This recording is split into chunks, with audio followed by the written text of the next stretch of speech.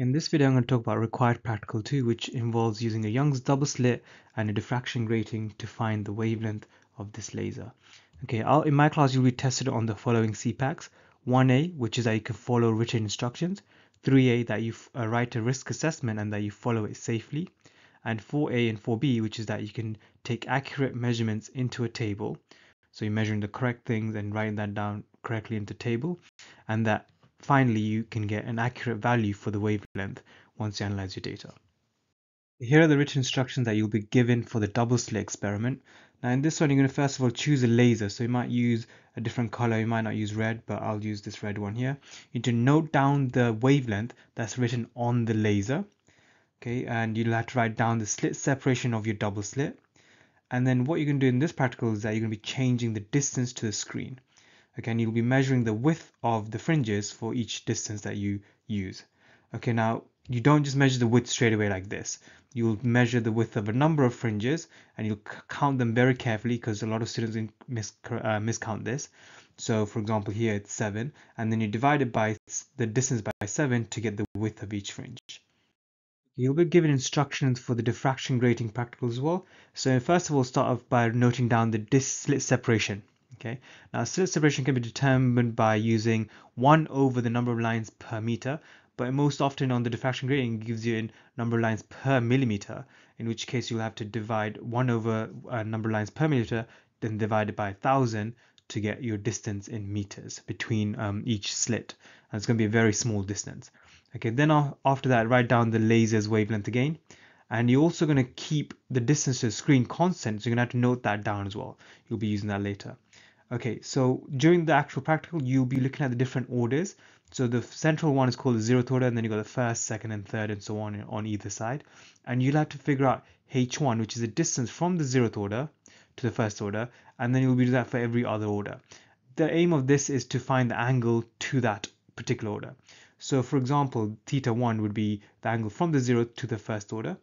Okay, so you can figure that out by doing tan inverse of h1 which is the distance from the zeroth to the first order and then divide that by the d which is the distance to the screen. Okay? Now the best way to figure out h1 isn't actually just measure it from the zeroth order. I would measure from the first order to the first order and then divide that by 2 okay? And then repeat this again to get the distance to the second order and then divide that by 2 to get the h2 and then again tan inverse with the distance to the screen. Okay? And then repeat this for as many orders as you can Secondly, you need to write a risk assessment before you start the practical. So as you'll be working with lasers, here are some things that you can mention in your risk assessment. What could happen if you look at the laser light? In fact, what could happen if you look at a reflection of the laser light? Because that's still dangerous as well. Okay, so you can mention that. Uh, you can mention how you're going to avoid looking at the laser light. So for example, if you're taking a measurement at the screen, are you going to turn around and just look directly backwards or are you always going to look towards the screen while you're in front of the laser? Okay and then how are you going to avoid reflective surfaces? So you know obviously behind the screen or next to the screen you don't want any reflective surfaces so you need to mention that. And what are you going to do when you're not taking any measurements? So you're going to just leave the laser on or you're going to turn it off?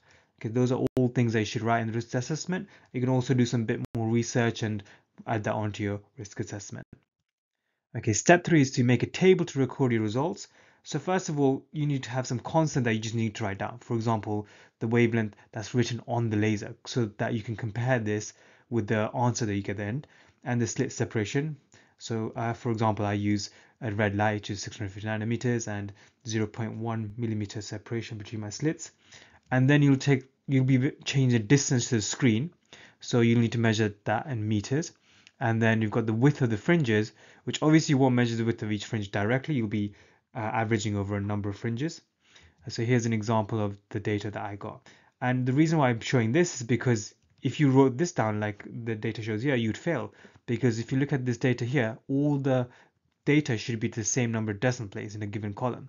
So for example, that 6 here, that's wrong. It should really be what the student meant here was 6.0. Okay, so make sure it's all to the correct number of decimal places, otherwise you'll fail that CPAC. You'll need another table for the diffraction grating practical as well. So there's a bunch of constants you're going to have to record, for example, the slit separation. And remember, you might have to do 1 over the number of slits per millimeter, for example, to find the slit separation. And then the distance to screen, which is a constant, and the wavelength that's written on the laser. and then you're going to look at each order so that's going to be on the left column there the order number and then you're going to find the distance from the zeroth order to that particular order so h1 h2 h3 and so on. And then you can use that to find the angle. And here's the equation. So that's tan inverse of the distance to that order divided by the distance to the screen which you've already noted down. And finally you're going to find the wavelength for each one of those orders. So you can use that using this equation here which is the diffraction grating equation. And once you've written that down we'll analyze the data later. Okay carry out the practical and determine the wavelength. So in the double slit one the equation is the width of the fringe is equals lambda d which is a uh, capital D which is the distance to the screen over the slit separation. I'm going to compare that to the equation of a line y equals mx plus c. And on because there's no there should be no intercept it should be there should be a plus c. Uh, on the y-axis I'm going to plot the width of the fringes. On the x-axis I'm going to plot the distance to the screen. So hopefully you can see the thing that's multiplying the distance to the screen is going to be our gradient. That's lambda over s.